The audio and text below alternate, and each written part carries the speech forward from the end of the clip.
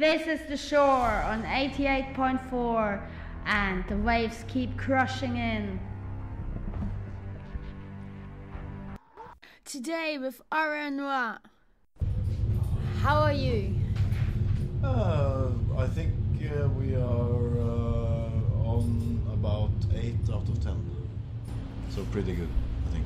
That's very good. Is, is that your first festival from Norway? Uh, no, it's uh, our third time here at Party.San. And uh, this year we've done, we did Wacken uh, last weekend. And uh, what other festivals have we done? Uh, Live Evil in Berlin. And yes, and uh, one in Ukraine. Wonderland. Wonderland in Ukraine. Fantastic, uh, fantastic. The Ukrainian Wonderfest. I'm being very sarcastic, it was not fantastic. And Why? Because of the promoter. yes, because of the Crowd- crowd promoter, was good. we hate him. What's his name? no, I'm sorry, it's just public radio. um, what's your last album called? Out to Die is our last album. And you're making, how do you define revenue in the metal business? So, my listeners, how do you define you're making black metal or. I think we could uh, say that uh, we play uh, black metal, perhaps, uh, as like a, but very old school and very thrash metal uh, influenced uh, with uh, influences from the 80s, you know, with the Celtic Frost. So, did you get uh, into black metal um, through your peers, or is it is it really that that I don't know that you grew up and then that you got really angry about the church, uh, or you were just a musician and you thought the music was lovely? Didn't have any other people around that were into the, this kind of music, so I sort of discovered it through um, watching shows like Monsters of Rock on Sky Channel and uh, stuff like that in, in the 80s. And uh, actually, I discovered Motorhead for the first time in uh, on Swedish television in very early 80s. They had these promotional videos for uh, Ace of Spades and, uh, and stuff like that. Overkill. They had some some sort. I think it was Overkill. That was the first Motorhead song I heard, and that struck such a chord with me that I was sort of uh, longing for that kind of barbaric uh, rock and roll. Uh, you know. So yeah, it's, it's, a, it's a life story, so I can't really. No, no, no, no. So, uh, your influence for the for, from for your latest record. What did influence you? Um, uh,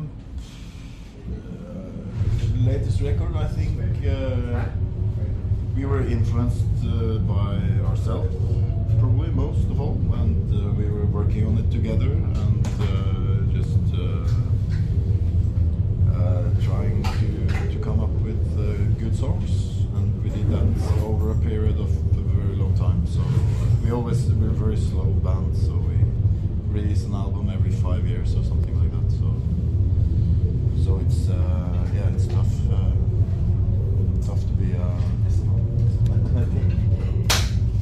Tough to be a musician in Norway. no, it's tough to be uh, so uh, no, it's not tough. It's the opposite of tough actually. We like to have it very chilled out and uh, relaxing, so we just uh, make music when we feel like it, and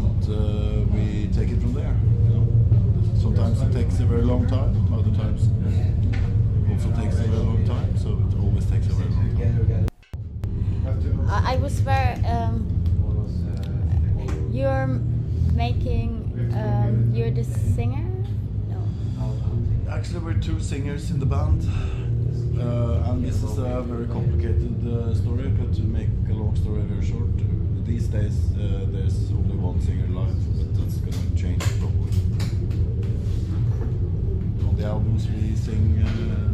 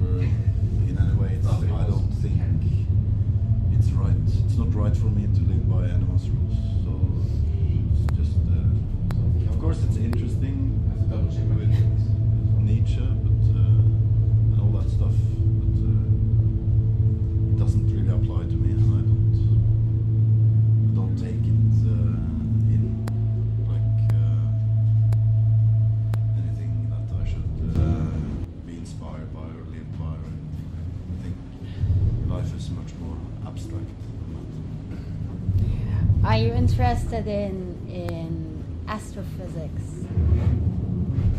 Uh, no, not really.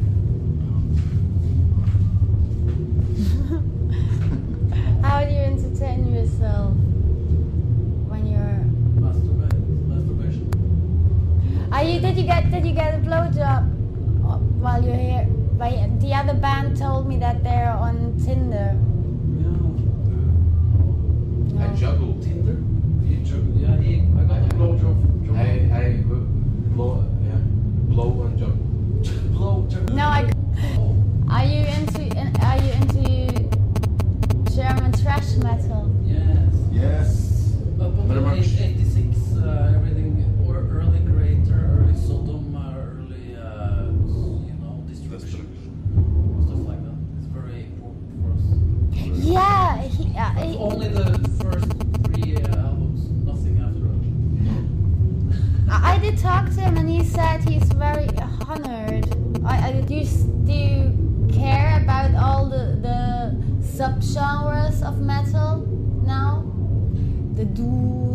and we, I the, love, uh, but we are uh, interested, at least for my myself. I'm interested in new stuff, and I think there's lots of new stuff coming out now. That's really good. But uh, the most most is always uh, quite bad, but there are always uh, exceptions. So uh, I'm interested, but not not all genres. Maybe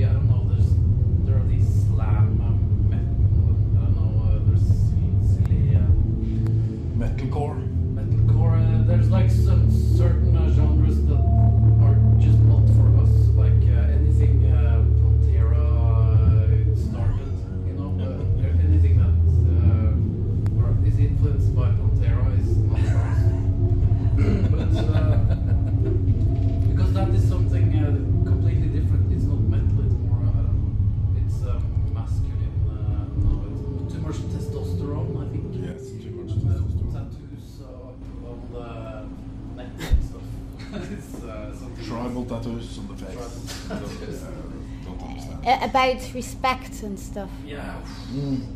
Seriously, that makes me really sad if I hear that. If I hear that song or anything about it. I uh, just get depressed and I have to leave, uh, leave the hall.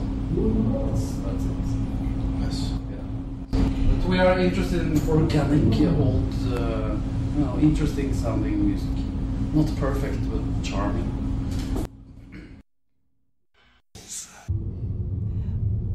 So you so you're not into um so it's about you're not sad or something about like the new upcoming that there's no I went last year to Sweden Rock and there were just um real men like all the men playing on stage there was nobody under 50 years old Yeah, yeah, that's normal for Sweden. I think there are younger bands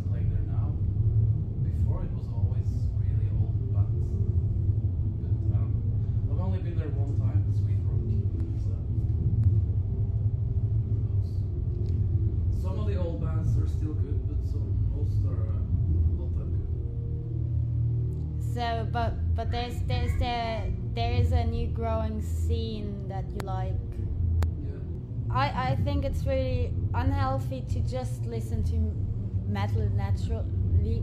Um, are you are you influenced by um, commercial or pop um, productions as well? The production or the I. Uh, is it that- we yeah. listen, uh, we are very open-minded, but that's our strength, maybe. As we, think, I don't know, but uh, yeah,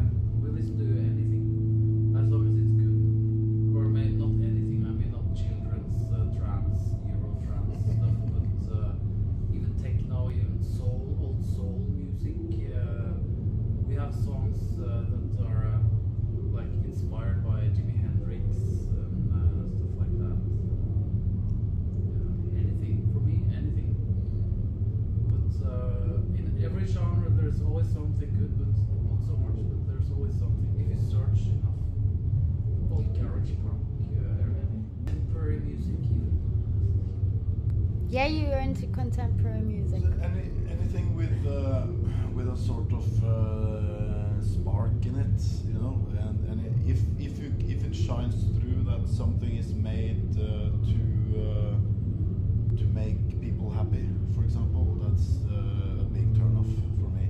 If, if I can hear that this music is sort of commercial or uh, made to specific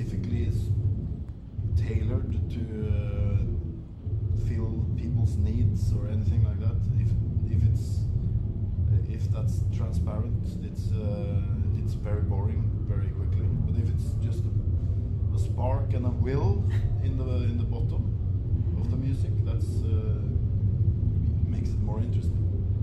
Is that how many percent is that um, the a- attitude, or is that the, do you hear that in the production because it's o- overheard? How many Yeah, like attitude is very uh, important, sometimes even the attitude doesn't shine through because the production is, uh, uh, you know, in the music world. Do you have this copy paste uh, possibility? You play, you play, Hey, There's some stuff you for play one Yes. part of the song per- perfectly, Uh, and you copy it and paste it throughout the song, just to have everything perfect. You know, so I, we basically don't like perfection. Uh, perfection is very boring. So you, I want to hear if the drummer beats hits the drums really hard. I want to hear it. I don't want to have the same uh, drum because that is the perfect uh, hit of the drum. I don't want uh, the production to be uh, perfect. It's very bad. So Very bad. so? or very boring, uninteresting. I want to It's also the- very boring when when things are uh, exactly the same tempo all the time. You know, it has to be a little bit up and down. When it is, it's more got more soul and uh, feeling. Feeling. You know. Okay, so you don't get basic. So you don't get a producer in to to uh, to No, we produce it ourselves. Yes, that's what we do. yeah. Definitely. Uh, but you strive for perfection, but you know you in yourself that you don't uh, that you don't be per- that That's you can't be perfect. don't- Uh, in our world, the perfect is uh, something else. It's not perfect sounding. It's not the same or every time. Uh, it's always different. Um, you can hear the humanity like shining through. Okay. Yeah, that's perfect. You can hear everything. Uh, and if there's a mistake, uh, that's also uh, charming. And musicians like um, Jay Z or Rihanna, they're into uh, they use now metal Yeah. nowadays. Um, do you find this as a person and a professional uh, professional in the metal business? Do you find that difficult or do they use metal? Jay Z and Oriana. uh, they use uh, I think maybe black metal references? They Yeah. they use think it's normal, Satan. even steal, steal or, uh, or we are influenced from other genres uh, without people knowing. So I don't really mind if they do. Um, may, maybe it's, it depends what metal they are. Uh, uh. But if it's something good, then why not? You know, there's many like big producers have been metal musicians before, and I mean. Uh, who make songs for all these Backstreet Boys and horrible band up there, maybe a bit more. Yeah, I don't know. It happens. To us, Backstreet Boys are really modern, modern Yeah, music. modern. Very modern.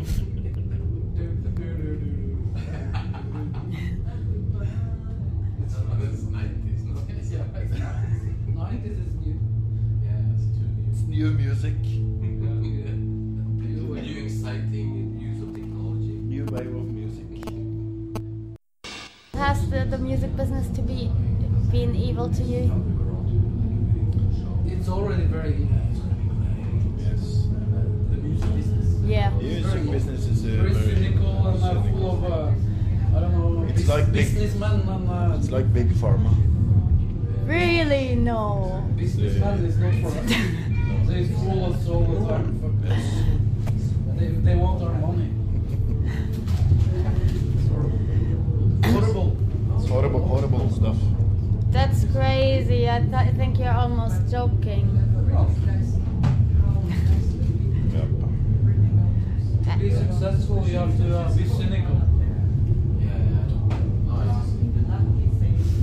All this, uh, yeah, also the this businessman in music destroyed the whole. Uh, they always destroy the whole scene. Because they commercialize or they tell. No, they just see, uh, yeah. They try to perfect uh, everything. This sells, so you should do this, or this this thing sells.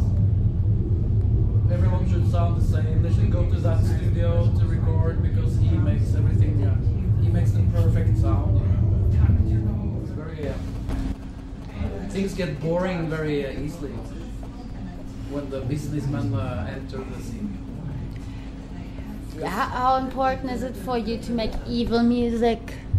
Not evil, but ugly sound. No, you just sound like you sound. Blindfolded. Yeah. It's uh, important to sound ugly, uh, maybe evil but uh, yeah, it's important to keep our sound and uh, sound the way we want to. Not the way that is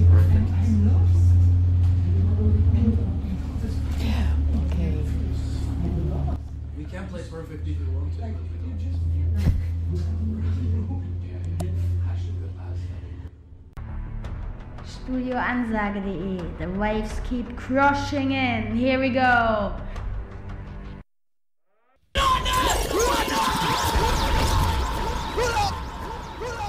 This is the shore on 88.4 and the waves keep crushing in.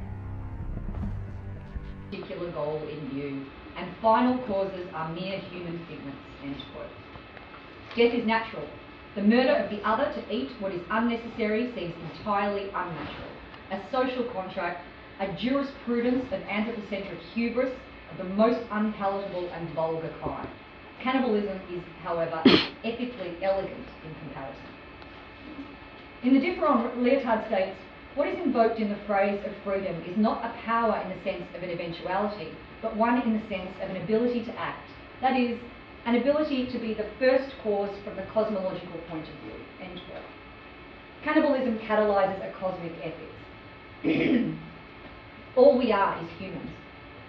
All we have the right to destroy, to negotiate, to enslave is ourselves. And we seem adept at doing it to each other, but it's time to say enough to imposing this potestas on the other species in favour of utilising our own limitless potentia. It's time for organ donation to become food donation. A proviso. The celebration of the corpse and of death here is entirely mutual and consensual. The business, for that is what it is, of murder and death machines from the farm to the battlefield is in the realm of the social contract. Even the murderer belongs to headlines and psychopharmacology. I wish to celebrate the banal reality that everyone dies, the potential of the already corpse for desire found in, necrophi- in necrophilia, cannibalism, and all other thanatoerotics. The life of oneself that may bring more joy through its cessation, from euthanasia to autothanatoerotics to suicide without.